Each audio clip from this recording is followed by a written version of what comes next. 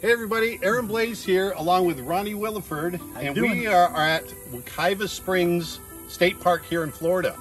And we're really excited to announce that we have an upcoming workshop, a watercolor workshop that we want to do in November. So November 7th through the 10th, we're going to have a group of people here, and Ronnie and I, just like we did in England a couple of years ago, we did in Sarasota uh, right after that, we're going to get a group together and we're going to do some plein air watercolor painting for four days. It's going to be a blast.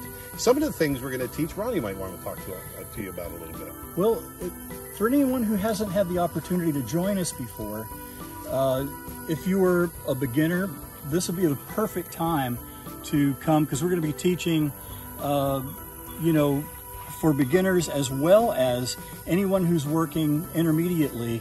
Uh, I've got some, I got some extra stuff for this workshop that I would like to talk about and teach. You got ants on you.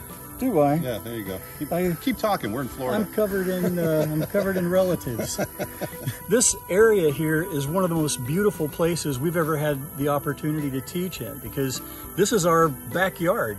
Uh, Florida is an incredibly lovely place to paint with uh, lots of green, and uh, but it's it's, not, definitely going to be a lesson in green for yeah, sure. Yeah. but it's not all green. Uh, it's a great opportunity to spend some time uh, being in a green environment and learning how to work in other colors and things like that too.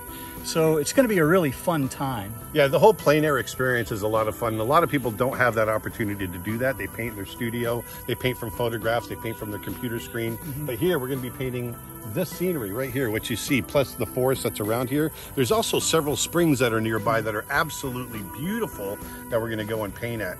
Plus, uh, like we mentioned earlier, there's tons of wildlife here. There's deer, there's bears, there's all kinds of cool stuff that we might see along the way. You might see a gator. Yeah, maybe. It could happen. It's kind of cool. Yeah. Now, some of the, the, the accommodations are really cool. We're actually staying at a camp here in Wekiva Springs. We're going to be staying in these awesome cabins out here with a beautiful fire pit right in the middle of this circle. And every night we'll be able to get together, hang out. It's going to be awesome. And as far as the weather goes, right now we're shooting in August. It's re- it's really warm. You might see that we're soaking through. Yeah. But by November, it should be nice and cool. We'll have some nice evenings. And what watercolor workshop wouldn't be complete without a pool? We don't even need to provide our own water. We've got water we can paint from right out of here. As far as uh, accommodations go, first of all, you just have to get yourselves here. Get yourselves to the park, get yourselves to the campsite, and we're going to take care of everything else. We've got food provided. Uh, keep in mind also that the, this is cabin camping. It's it's kind of a like I said, it's a camp. So some of the cabins have multiple bunks.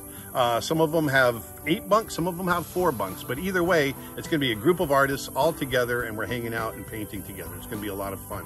So more of the schedule will include, um, you know, basically we'll get up in the morning, we'll have breakfast, we'll go out and do morning paintings, we'll come back, have lunch, maybe some uh, afternoon lectures, then go back out again and paint some more. In the evening, we'll have fires, we'll have more lectures. Uh, and then maybe a, a couple of little drinks, have some snacks, we'll have a good time. S'mores, what the heck?